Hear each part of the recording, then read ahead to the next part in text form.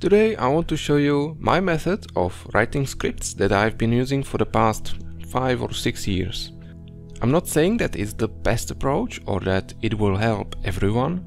If you got a different system that suits you, by all means. But if you got nothing and you are struggling every time to write any piece of code, maybe you'll find this info useful.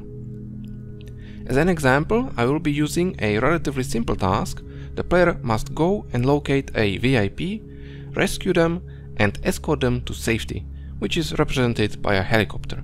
Once the VIP gets inside the helicopter, they get transported away and the task is complete. The first thing I do is plan as much as possible. Planning usually takes less time and effort and I can identify potential problems ahead of time. So let's start with that. Okay, so I imagine how the task could go in the ideal case. The player starts somewhere and is informed about having to rescue a VIP. This can be done through dialogue, radio, task interface, doesn't matter. The player then goes to the VIP's location. They can face enemies on the way there, again it doesn't matter. The player then reaches the VIP. The player then takes the VIP to another location. Again, they might encounter enemies and it doesn't really matter right now. Finally, the player reaches the designated area, finds the helicopter that is waiting for the VIP, the VIP gets inside the helicopter, it flies away, task is complete. Now you might think, well, that this isn't exactly helpful. I said that half the things don't matter and then just repeated what escorting a VIP is. So let's break it down. When I say that something doesn't matter, it's because from the perspective of the mission flow or the sequence of important events, such details are inconsequential. When I'm thinking about making a mission where I rescue a VIP, it really isn't important if I decide to have the player face 5 or 6 enemies, or 20, or none. The mission will progress in the exact same way every time. So things like where exactly the VIP is, how many enemies there are, or whether the VIP ends up getting into a truck or a helicopter at the end, these things don't change how the mission will be structured. And I can always change them later. Once I have the basic flow finished, once I have a framework that lets me play through the whole sequence, I can then adjust the specific details and I will know that the mission still works just fine or at most I only have to do very slight adjustments. Going over every single action in a mission also helps me identify all the points at which I will have to call some code. I can prepare a very clear layout for my scripts ahead of time and make a whole sequence of events that will control the flow of my mission. I can already tell that there are two important moments that divide my mission into three parts. I have the initial setup where I must spawn everyone in, give the player the task of rescuing the VIP and so on, all the way until the player reaches the VIP. Once that happens, I have my first important moment of the mission. Reaching the VIP means having to tell the player to head to the safe zone with the VIP. Maybe spawning some enemies, I have to start checking if the VIP is still with the player and so on. At this moment, a second part of the mission starts and lasts all the way until the VIP gets inside a helicopter, which is my second important point, where I need to finish the task, get the helicopter out of the current area, make sure the VIP doesn't blow up on their way to safety, and if I want to, close the mission as a whole. This is the last portion of my mission. When writing scripts, I can use this information to determine when I need to use certain commands and how long they should be active for. Of course this doesn't always work, but at least I can already tell the overall flow for the code I will write. At this point, if I'm not very experienced, I can just start writing code and see how far I get. May as well, right? Because there's not much else I can do at this point. I just need to write code and solve individual issues along the way, but if I do have some sort of experience and generally know what commands there are, I can keep planning. Let's see how that would look. I already divided my task into several groups. Now let's split each one into individual commands. I'm not going to go through all of them, just to give you an idea. At the very start, I know that I will need to spawn things in. If I'm doing just a small mission, I can place things in the editor and do it that way, if it's a longer scenario where these individual tasks appear throughout, I will have to use code to spawn the VIP, the enemies. I could also spawn the helicopter already, don't have to do it, but it's an option. I will also need to create a task for the player to go and rescue the VIP. This includes creating the task itself, sending them a notification on the screen, maybe creating a waypoint, maybe making some sort of dialogue to let them know. Lastly, I can already give the VIP some sort of animation to have them lay on the ground or be tied to a chair or kneel down, whatever you have available. And the VIP will just keep doing that until they get rescued by the player. Lastly, I can use add action on the VIP to allow the player to interact with them and simulate the action of rescuing them. This way I can set the entire initial phase of the mission right here at the beginning and not worry about it all the way until the first important moment happens. The player can walk 1, 5 or 50 kilometers to reach the VIP and the code will work perfectly fine. They can take 1 minute or 2 hours to reach the VIP, nothing changes. They can face 2 enemies or 200, the mission still works. This way I can fine tune the little details that are more about atmosphere, difficulty and this sort of professionalism while still having a stable working framework for the basic functionality of the mission. Next thing I know, once the player interacts with the VIP, I need to update the tasks, maybe play some animations, some dialogue, maybe I will spawn more enemies, or redirect the existing ones to head in a new direction. I can spawn the rescue helicopter if it hasn't spawned already, perhaps I can set a time limit, like the player calls the heli, but since enemies are closing in on their position, the heli only has X minutes before it takes off. This way you can add some more spice to the mission. Best thing about this, I can make all of this happen once the player interacts with the VIP. And since I already planned how that would happen using add action, I have naturally split my code into two scripts. The first part runs at the very start, does the initial job required, and prepares things for phase 2. The second script picks up once phase 2 starts, once again does some immediate stuff, and it can prepare stuff for later. Looking closer at taking the VIP to the safe zone, I can either have the VIP follow the player, have the VIP walk by themselves to the safe zone, or I can add them to the player's group. I prefer the last option, especially if the player can be the group leader.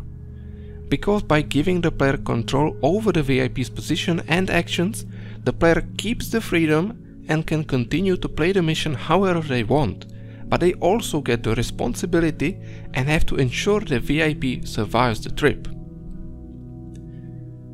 The kind of mission that gives you a clear task but doesn't control how exactly you do that task accomplishes the best of two worlds. You are given a clear objective and have some direction, so you aren't completely lost because the game doesn't tell you what to do. At the same time, you are given the freedom to complete your task in any way you want and aren't restricted by some arbitrary rules. So you can be fast, slow, go left, right, any strategy you come up with. As long as you succeed with it, the game will reward you for it. Giving the player access to command the VIP around makes sure that the player has some agency in the mission. They can have the VIP hide in a bush somewhere and wait until the area is clear, or have them board a vehicle. Hey, they can even grab a gun and join the fight. Now that we have freed the VIP and are taking them to the safe zone, we can do any number of things. I have decided to finish the first task, make a new one and start a 30 minute timer for the player. Just to have some sort of upper limit, to make sure players don't completely cheese the mission by crawling all the way there or waiting until nighttime. Your window for extraction is limited, so there you go, you have a limit there. This leads me to another way to look at scripting.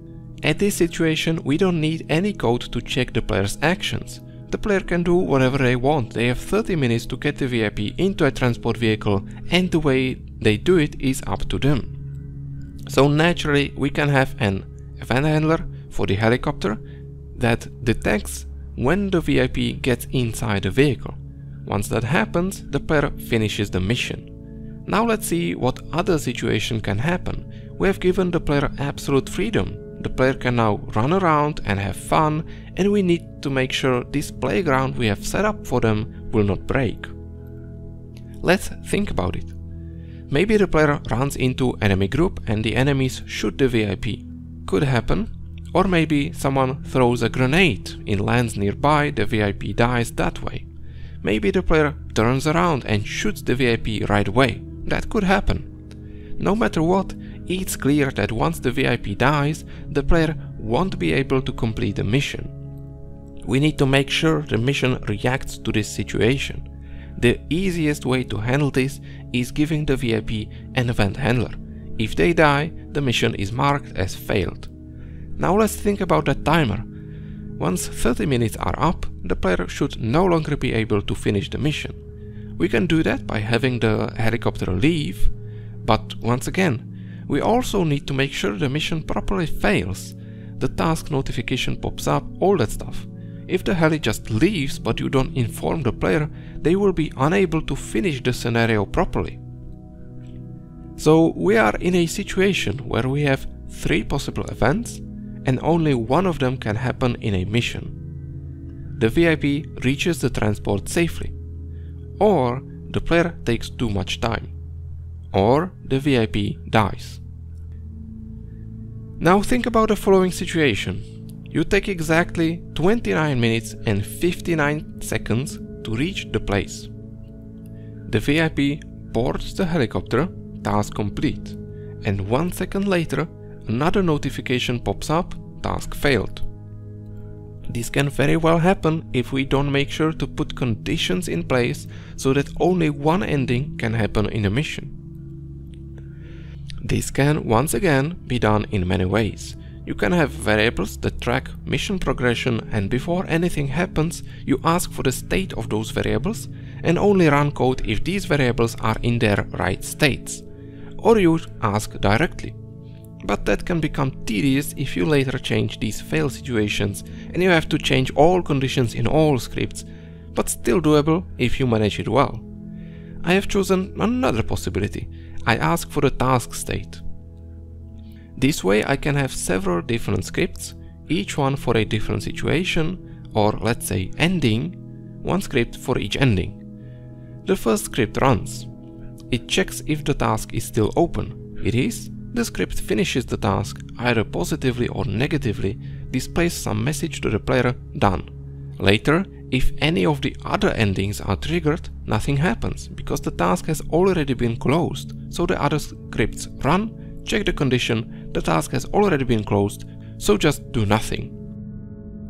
So in a situation where the player runs out of time, then turns around and shoots the VIP out of anger, Running out of time triggers the task to close, and the player shooting the VIP then triggers a different script which will do nothing because the task has already failed. Similarly, reaching the helicopter also does nothing in this situation. Last point I want to make, it doesn't matter if you split these into two scripts or 5 or 20. You can have all of this logic in one script and if you can tell what goes where, good for you, keep it that way. Or you can have a separate script for each small piece of code that is self-contained and if you need to add something new, you will create a new script. The only thing that matters is that you understand how your code works, how one command affects another. My classification is only one possibility, but really there is no rule for this. You do whatever suits your needs the most. Sometimes splitting the code into several scripts allows you to reuse some code. For example, if running out of time and killing the VIP results in the task failing, I could use just one script to call in either of these situations. And any changes in the future like adding more effects or more dialogue will be easier because it's all in one script. I added that one and I'm done. And other times it's better to keep things in one larger script because otherwise you end up with 10 scripts calling each other back and forth and once you forget how the web of scripts interacts with itself, it can be difficult to untangle the logic to understand it. In this specific scenario, I can split the scripts in many ways. The most logical for me is to make one script for the initial setup, one script for when the player reaches the VIP and interacts with them, which also handles setting up conditions for later, one script for mission success, and one script for mission failure. Of course, I could have twice as many scripts, or I could have just one. Based on how comfortable you are with coding and what goal you are aiming for, you can write your code to be completely self-sufficient. What do I mean by that? That when you run the script, it does everything. See here, I have placed some objects in the editor, I gave them names, and if you take the scripts as they are and don't do the other preparations in the editor, it will fail at some point. You are going to be mad at me and so on. But I can write the scripts in a way that they will spawn these things in. So I can just open up a completely blank map, put the scripts inside, press play, and the mission will work just fine. This is admittedly a bit more work, it's quite flexible and you can create a repeatable or random task this way. Just a little challenge that spawns itself into a larger mission. You do it, it ends, cleans after itself, and you can continue with some other objective. Much easier to do if everything is handled by scripts that you just place in a folder and with one call you take care of the entire task. So that's pretty much all I wanted to discuss with you today. Not really any specific commands, because once you learn to think about putting code together, you can do so in any language you want. With SQF nearing the end of its lifetime, many of you will transition to Enfusion scripts and this sort of general understanding how to structure your code to fit your missions will surely be useful even there. All examples are in the video description. I have prepared several variations on the basic mission flow. VIP rescue triggered by action or just general proximity, VIP joins the player or goes on their own, event handler for the helicopter or for the VIP. One variation where everything is in one gigantic mess of a script, you just plop that into an empty map and it will create the whole thing for you when you call that script. And one variation where I don't use global variables, I kinda cheat a little bit with set variable commands, but it's the best I could do. So have a look at that if you wish and I will see you in the next one.